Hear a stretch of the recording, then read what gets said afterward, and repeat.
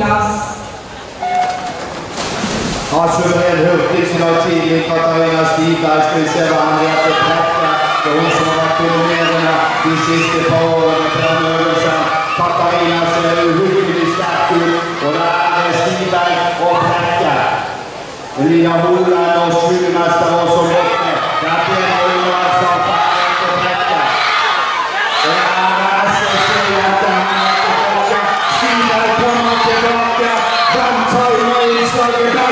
Vogliamo fare i nostri touchdown